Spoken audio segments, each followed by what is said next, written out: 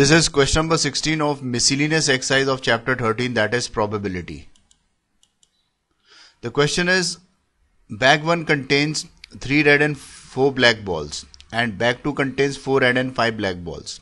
One ball is transferred from bag 1 to bag 2 and then a ball is drawn from the bag 2.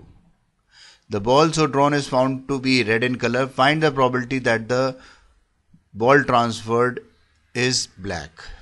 Okay. Now to solve this question, first of all, we picturize the given condition. Okay. So consider that this is bag 1 and it is containing 3 red and 4 black balls. Okay. And we have the second bag and it is containing 4 red and 5 black balls. Okay.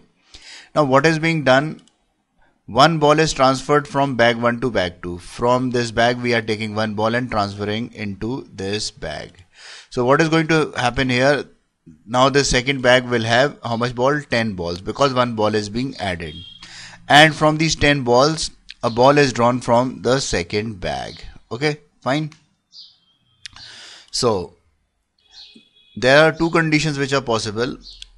First is this that uh, the bag 2 will have 5 red and 5 black ball is the if the ball transferred is red. Okay because this bag has 4 red ball and 1 red ball added to this bag will make 5 red and 5 black balls similarly if the ball transferred is black then this bag is going to contain 4 red and 6 black ball okay now we consider two events first is event E1. Event E1 is the event that ball transferred is black and E2 is the event that the ball transferred is red. Okay. So because there are limited number of balls, there are that is there are three red balls and four black balls in the bag one. So there is a probability of E1 that is the ball transferred is black and this would be equal to 4 upon 7. Okay. That is the total number of balls upon the uh, number of balls which are black. That is favorable ways upon total number of ways. And probability of E2 would be equal to 3 upon 7 again uh, favorable number of ways upon total ways. Okay. And uh, A is the event that the ball drawn is red. So here A is the event that the ball drawn is red is the final uh, uh drawing of the ball. That is after adding the ball we are drawing the ball from the back to this is the event A. Okay now what we are required? We have been given that the ball drawn is found to be red in color.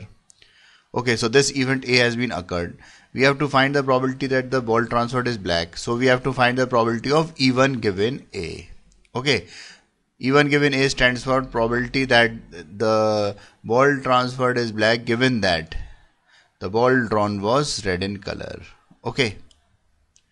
So to calculate probability of E1 given A we are going to apply this result probability of E1 into probability of A given E1 upon probability of E1 into probability of A given E1 plus probability of E2 into probability of A given E2 we are going to apply this result that probability of E1 given A is equal to this much. Okay now probability of A given E1 means that the ball drawn is red given that black ball is transferred. Okay so if the ball transferred was black okay so what is the probability that the ball which is going to be drawn is red in color? So this would be equal to 5 upon 10 because the bag 2 will have 5 red and 5 black balls if the ball transferred is red and probability of A given E2 would be probability that the ball drawn is red given that red ball is transferred and this would be equal to 4 upon 10 because the bag 2 have 6 red and uh, 4 red and 6 black balls. Okay.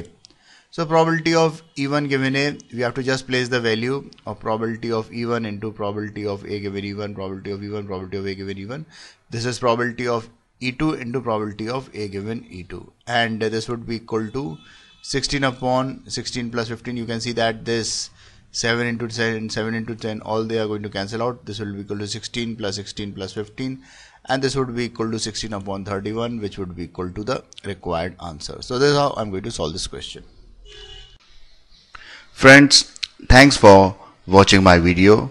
To watch more of these super videos and for the latest updates, subscribe and like the videos on these channels on YouTube HSK Shiksha and Math Help by HSK. Thank you.